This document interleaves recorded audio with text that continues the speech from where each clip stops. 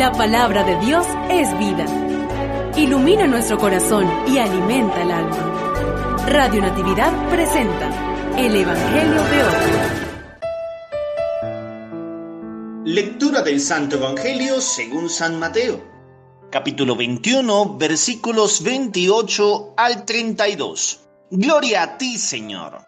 En aquel tiempo, Jesús dijo a los sumos sacerdotes y a los ancianos del pueblo, ¿qué opinan de esto? Un hombre que tenía dos hijos fue a ver al primero y le ordenó, Hijo, ve a trabajar hoy en la viña.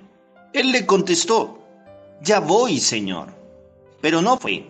El padre se dirigió al segundo y le dijo lo mismo. Este le respondió, No quiero ir, pero se arrepintió y fue. ¿Cuál de los dos hizo la voluntad del padre?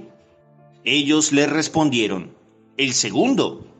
Entonces Jesús les dijo, yo les aseguro que los publicanos y las prostitutas se les han adelantado en el camino del reino de Dios, porque vino a ustedes Juan, predicó el camino de la justicia y no le creyeron.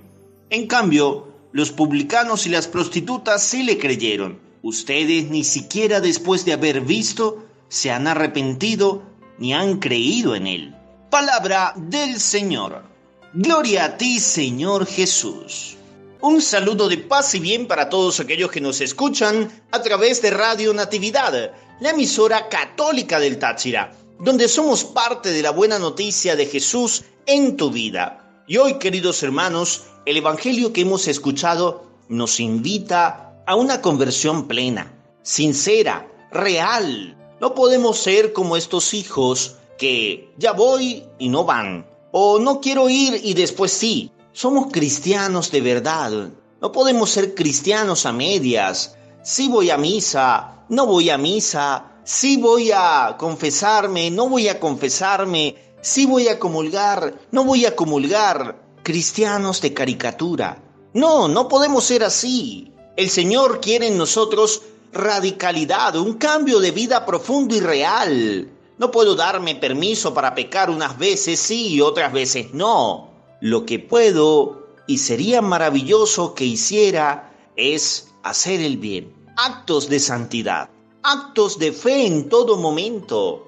No es posible que muchas personas nos lleven una morena, una delantera, porque con escuchar por primera vez a Jesús se han arrepentido y han creído en Él de corazón.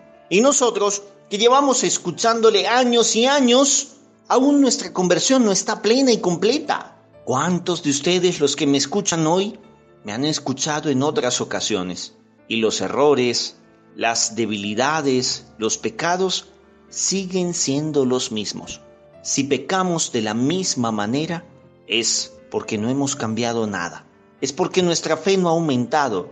No olvides las etiquetas, los sacerdotes buenos somos más, y yo tengo un amigo sacerdote. Dios te bendiga. Gloria al Padre y al Hijo y al Espíritu Santo, como era en el principio, ahora y siempre, por los siglos de los siglos. Amén.